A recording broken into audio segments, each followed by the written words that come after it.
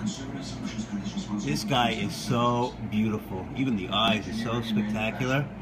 I've never seen them in any local fish stores. It's a Jordan's Tusk and not that expensive, but a beautiful, beautiful specimen. He's eating great. Just in there for about four days. He's getting used to his tank mates who are a little bit of bullies. They've been there for a while, but he's doing fantastic. And you can see when he colors up, even more so when he's at night, he colors up to ridiculous colors. Can't even imagine.